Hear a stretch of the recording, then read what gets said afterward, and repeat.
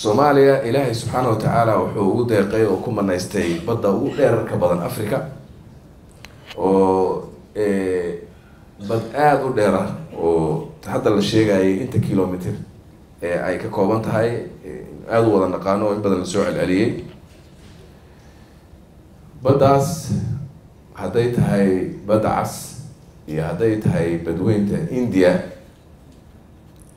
labaduba top tenka adduunka ayay ku jiraan marka la fiiriyo meelaha ugu badan kalluumeysiga adduunka ee kheyraadka uu ku jira kalluunka marka habad sii kala badnaadaan labadood wey marka laga reebo maran maranbiyeedyadeena oo baddeenna muhiimadda ay leedahay ay caalamka u leedahay isu socodkiisa iyo ganacsiga adduunka marka laga reebo oo iyaduna meelaha dee adduunka ugu muhiimsana waxaa dhex eegaaga khayraad aada iyo aada u badan oo aan kalluun keliya ahayn laakiin qeybihii kale oo dhan ay ku jiraan oo dhaqaalaha buluga hadda loo bixiyeyba. Ad ogtihiin? Iyadoo muhiimaddaas laga fiirinayo wasaaradda magaceedii waxaa lagu daray iyo dhaqaalaha buluga haddii aynu ku guuleysanay in daynta laynaga cafiyey haddii aan nidhi amnigii waxbaa ka qabanay oo sidii waa ka fiican nahay haddii aan ku biirnay bulshada ama suuqan weyn ee east africa haddii aan ku biirnay community waxa aan beyc geenno meel kastoon tagno in adduunka u sheegno marka waxaa weeye soomaaliya in la yimaado investment lagu sameeyo meesha ugu horeysa ee nala weydiiyo ee dadku ay xiiseynayaan. Waxa weeye waa kalluumeysiga adduunyadii marka runtii waxay soo eegeysaa oo la fiirinayaa soomaaliya sidii investment loogu sameyn lahaa qeybaheeda kala duwan laakiin waxaa aada loo xiseynayaa fishariga sababtuna waxaa keenaya waxa weeye kow in adduunka o dhani wada ogyahay soomaaliya baddeedu intay leeg tahay iyo waxa ku jira. Marka koowaad in si fiican looga warqabo. Iyo number two oo loo arkay in xagga security-ga ay baddu ay more safe tahay oo ay kaga duwan tahay beriga ay kaga fiican tahay. Marka cid waliba waxa waaye shahiyadeedii bay ku soo jeedisay waxaana la doonayaa in la imaado waddankaana. Waa loo soo socdaa baddana waxa waaye in laga faa'iideysto ayaa ayay adduunyadu u soo socotaa laakiin mar walba waxaan dareemayaa in dee caqabado jiraan. Intaana caqabadahaas laakiin u gudbin iyo sidaan u aragna inay ay dowladdu qorshayso in looga baxo waxaa aada og tihiin adduunka waxaa ka jira culays weyn oo iyo cabsi dhinaca quudka ama waxa la quuto ku saabsan oo food security loo yaqaan dhibaatadaas weynaa waayahan dambe oo dhan iyo cabsidaasa adduunka ka jirta waa waa la socotaan waxaana un soo saartay meel ukraine la yidhaahdo dagaal ka bilowday kadibna waxaaba la ogaadayba meeshaasi ahmiyadda ay leedahay iyo maxaan ku dhahaa dagaalkaasi dhibaatadu keenay waxaa timid in adduunyadii ay isxirxirto in la yidhaahdo anigu cuntadan soo saaran dhoofin maayo meel kala geyn maayo aniga inan dhaafayn cabsi waxaa soo gashay dadka. Oo dunida oo dhan ah in ay adduunka uu ka dhacdaan qalalaaso iyo qulqulatooyin la xiriira dhinaca cuntada.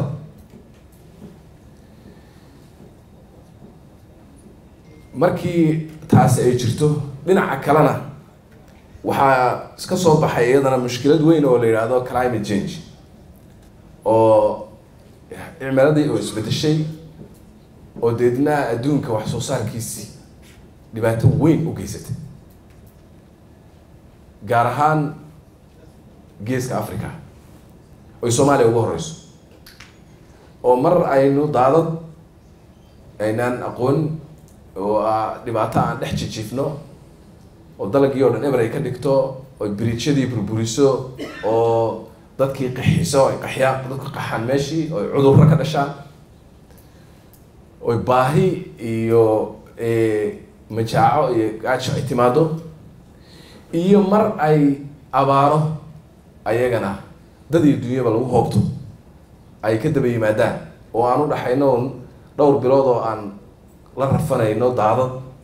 iyo consequencigii daadadkaas ka dhashay iyo dhowr bilood oo kaleo abaara ah iyagana oo dhibaatadaas. Taas waxaa waa waa waa cimiladii taas waxay markaa hoos u dhigtay iyadana dhibaato weyn u keentay oo jug weyn gaadhsiisay iyo dhaawac. Wixii hantidii faraha badnayd ee kale aan ku faani jirnay ee aan lahayn oo ah xoolihii. Xoolihii oo dhibaato millions ay dhimanayaan. Waxaa kaloo dhibaato weyn ay u geysay dalagii iyo beerihii ayay iyadana dhibaato weyn u geysay oo ayagana dee boqolaal hectaar ayaa waxa weeye hal mar go'aya wixii soo baxayena hoos buu u dhacay. Haddii marka ay trendgaas waxaa ku socda iyo culayskaas ay keentay in sii ziyaadaan cabsidii laga qabay dhinaca food security-ga oo dadkeenu waxay ku tiirsanaayeen ahaayeen waxaa lagama maarmaana waddankeenu inuu hadda uu isu bedelo marka. Maritime maritime state. Badda inaan hadda aan guraca saarno oo aan xagga badda u sifartano waan ku qasbana strategically inaan halkaas u fikirna u baahannahay waa inaan magaalooyin waaweyn xeebaha laga sameeyaa waa in aynu ku fikirnaa in laami dheer oo isku xidha geeska gees soomaaliya oon beriga marina badda mara korkiisa. Badda korkeeda maraya xeebta inaan inaan inaan sameyno waay. Waa inaan ku fikirno inaynu infrastructure-ka dhinaca deg dekadaha iyo laamiyada ka imanayaa iyo corridorska waddamada kala gelayaa inaan badino oo aan maxaan ku dhahaa mustaqbalka aan noqono waddan aynan resiliency isu dhaco ayna abaartu inoo karin oo ayna daadku inoo karin oo ayna mushkilad u dhicin oo ayna dadkeenu u baahan waa inaan hantidan kale ilaahayna siiyey iska taalla meeshan. Ee ayadu aan cimiladuna waxba yeelayno waxba ilaahay meeshaas uu wax walba u dhameeyey inaan u soo jeesano markaan oon focuska saarno waay. Marka waxaynu haysanaa alternatives fara badan iyada oo ay dadaalka adduunka loogu jiro cimiladan sidii resilience loola sameyn lahaa xoolaha sidaynu noloshii u bedeli lahayn yani qaabkii hore ee traditionally aan u noolaan jirnay ee ahayd dee inaan xoolaha iska wadano oo ay aynu iska daba guurno ayna waxba inoo tarin weyn. Ceel biyo mar ay ka cabaan inaynan damis lahayn inaynaan beeraha meel inta loo gooyo xoolaha raritaanka iyo guuritaanka iyo wareerinta la wareerinaya inta ka dayno meel degaan oo meel la dejiyo meesha lagu calfiyo lagu nooleeyo kadibna ay wax soo saaraan meesha wax ka soo saaraan nolosha noocaas inaynu isu bedelno ayaan u baahannahay oon ka gudubno noloshii hore ee geelu iska soconayo ee geel koona ka koona soomaaliya uu daba guuraayo meesha raba u guuraayo taas inaan ka gudubno aan u baahannahay. Marka dhinacaasna inaynu kabasho ka soo sameyno oo aynu isbeddel ka soo sameyno dhinaca kalena strategically inaynu fakerno inaynu baddaan sidan kuma dul fadhin karne. Bal inaynu annagiyo baddaynu isbarabno inay lagaa maarmaan tahay waxa kale ee balbadda ku jira waaweyn ayadana waa u soo soconaa oo waaba bilaabeynaa insha allah haddii la yihahdo laakiin bal horta kii iska taagtaagnaa ee banaanka joogay aan u soo jeesano waxay la tahay marka marka laga fiiriyo dhinacaas adduunka cimilada isbedeshay iyo duruufaha ku dhacay xoolaheenii iyo beeraheenii marka laga fiiriyo strategic say u tahay baddu inagu markaasaan sheegay waddan waxaan nahay u sii guuri doona haddii la yihahdo dhinaca badda. Mustaqbalkana waxaan fili doonaa soomaaliya inay meesha ugu weyn ee wax soo saarkooda wax soo saarka aan markii hore aan dhihi jirnay xoolaha beeraha kadibna meelaha dambe hadda waxaan rajeynaya inaynu kalluumaysi horta inay inaynu soo horumarin doono haddii la dhinaca kale xoolaha dadaal badan runtii wasaaradda iyo dowladdu dadaal badan ayay hawshaas ka gashay waxa waaye suuqa fara badan wasiirkaa sheegay hadda kuma celinayo adduunkii oo dhan na waa u soo socdaa japan. Baa ogahay dadka aada u xiiseynaya china xiiseynaysaa turkiga waa ogtihiin heshiis baan la galnay oo insha allah waqti dhow i hope in maxaan ku dhahaa caqabadahan jira waqti dhow insha allah wax laga xalin doono ay ka mid tahay in la la helo dekado gaar u ah kalluumeysiga marka innaga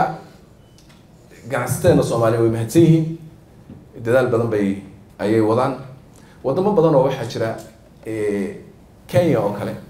waad ogtihiin oo waa dhaweyd heshiisya badan baan soo galnay waxaan focus ka saarnay xoog saarnay runtii in aan ay qaataan maxaan ku dhahaa kalluunkeena inay qaataan. Standardka hadda uu goo agaasimaha guud ka hadlayay haddii aynu gaarsiino waxay diyaar u yihiin inay wax badan ay qaataan oy diyaarna u yihiin. Annaguna waxaan nidhi maaragtay war idinku waxaadna siisaanba wax oo aan noo fiicnayn laakiin annagu wixii idin fiicna ayaan rabnaa inaad naga qaadataan marka aada bay u garaysan yihiin wayna rabaan. Marka inagu dhinaceena inaan ka diyaar garowno unbaa loo baahan yahay. Dhinaca xoolaha dadaal badan baa la wadaa. Maantadan aan hadlayno runtii iyo waayahan hadda ugu dambeeyaba bilihii ugu dambeeyay waxaa socday tallaal guud oo xoolaha soomaaliya oo dhan ay wasaaradda xanaanada xooluhu meel kastoo joogaan la tallaalayay oo caafimaadkooda la hubinayay faydhoor loo sameynayay oo la ilaalinayay. Marka xooluhuna waa muhiim ayadana waxaana rajeynayaa insha allah de waa meesha keliya oo hadda si weyn aan uga dhoofino dhoofka ama lacag adag inooga soo gasho od ogtihiin marka inaan saan ayagana u ilaalin lahayn caafimaadkooda laakiin waxaa dhib inaga haystaa asluubkii hore een ula nooleyn xoolaha een u dhaqan jirnay ayaa weli jira. Marka waxaynu u baahannahay inaynu geedi dheer gallo oo aan kaga leexanayno ka guurayno meeshaas oo aan u guurayno in aynu si kale xoolihii oo aan dhib gaadhsiinin oo ayagana loo ilaaliyo annagana mo noo faa'iido badan inaan inaan inaan ka shaqeyna haddii laa idhahdo in biyihii xoolaha oo maxaan ku dhahaa qaabkii hore dee meel ha ka soo arooran meel ha ka soo cabaan in meel lagu nageeyo meeshoodaas ay ka cunaan ay ka cabaan waxay la tahay taasna waa waa shaqooyinka aan runtii istraatiijiga ah aan ku fakerayno oo aan rajeynaya inaan transform garayno nolosheenii hore oo aan dhinac kale aan aan aan u guurno. Ayaan rajeynaya haddii laa idhahdo waxaa aada ogtihiin in aan ku fakerayno ama laga samayn karaba runtii annaga rajo weyn aan jirto in ay budgetka qeyb weyn oo mugle in ay ka qaadan karaan barnaamijkan kalluumeysigu inuu ka qaadan karo budgetka dowladda. Hadda waxaa naga soo gala wuu kooban yahay laakiin dee wax soo saarkaasaa u kooban. Laakiin haddaan wax soo saarkeena ballaarino rajada aan qabno dadka heshiiska aan la galay dowladaha aan la tashanay intuba waxay noo sheegayaan wax oo annaga weli aan aanan aada ugu fakerinba in ay inaan ka heli karno inaan ka helaynaba ayagoo ay yaqiinsan yihiin in laga helaayo. Weliba laga soo saarayo badda soomaaliya. Marka budgetkeenna maxaan ku dhahaa intiisa badan ka badan fifty percent inaan haddii la yidhahdo badda noqdaan ay badda ka timaado ayaan rajeynaynaa gaar ahaan kalluumeysiga wakti dhow inay ay ay maxaan ku dhahaa annagoo kaashanaynaa saaxiibadeenna kale oo aan maaragtay heshiisyada la galnay in dekedahaas la helo waa waa waa qasab waana heli doonaa wakti dhow haddii la yidhahdo qorshahay innaga baddeenna marka culays badan baa soo maray oo ah qashin lagu tuuro kalluun sharci daraa piracy iyo burcadbadeed ka dilaacda inta intaasoo dhaniba waa culaysyo waaweyn oo waddankeena soo maray oo baddeenna soo maray laakiin qaybo badanna waxbaa laga qabtay. Waxa ku sii harsanna waxaan rajeynayaa insha allah in xal dego waana la monitoring garayaa. Aniga maalin walba waxay haystaa wasaaraddu daily report oo ay arki karaan yaa ku jira yaa laga saaraa. Dowlado waaweyn baan geynay maxaan ku dhahaa dacweynay oo deedna runtii ka cararay meeshii kuwo kalena waa lagu daba jiraa. Cid laga yeelayo inay kalluun sharci darraa dalkan ka samaysatana ma jirto dowladda soomaaliya maxaan ku dhahaa qolalka ciidamada joogaan dabcan heshiis bay ku joogaan waanan review garayneynaa waqti qaarkood waa ka dhamaaday review baa hadda lagu sameynayaa habkay ku joogayaan iyo hadday joogayaan iyo haddayna joogeynin waxa waaye waxay noqon doontaa wax gacanta dowladda soomaaliyeed ku jira laakiin waxay iyagu iska joogaan ma noqonayso. Heshiis unbay unbaa lagu joogi doonaa ciddii joogaysa weliba la xiriira inay dee la safegareeyo ganacsiga soomaaliyeed iyo kalluumaysatadeenna iyo maxaan ku dhahaa ilaalinta badqabka baddeenna iyo maxaan ku dhahaa caafimaadka iyo nabadgelyada intaba. Sababahay ku yimaadeenna duruufo ad adag bay ahaayeen oo xilli mucayana ay yimaadeen si loo soo nabadgeliyo doomaha iyo maraakiibta wada gargaarka bani aadamka wada. Ay ay maxaan ku dhahaa dadkii u baahnaa ugu keenaan. Duruufahaasay ku yimaadeen